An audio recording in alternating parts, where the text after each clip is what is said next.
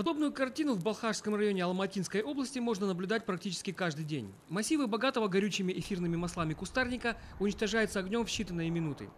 При этом гибнет населяющая тугой фауна, а пожары очень быстро расползаются на такие значительные расстояния, что захватывают территории Государственного лесного фонда.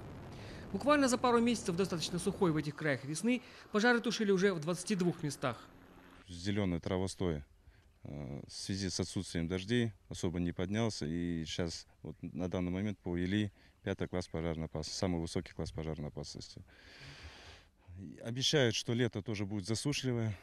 Соответственно, если будет лето засушливое, то осенью, скорее всего, будет высокая горимость и в горной местности, и также в пойменной части реки Или, Каратау, Прибалхашия.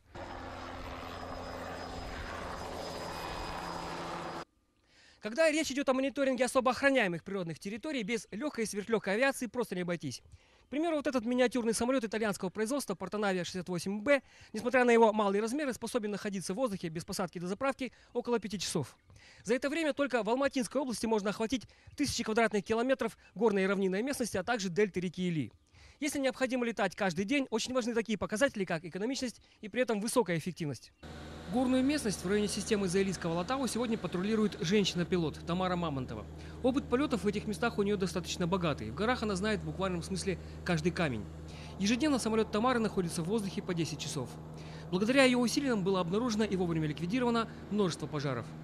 Летчик-наблюдатель, который сидит на борту, связывается со своими точками, передает им координаты э, пожара, э, площадь пожара, э, необходимость в тушении, сколько нужно человек там, ну, в общем, для этого дела.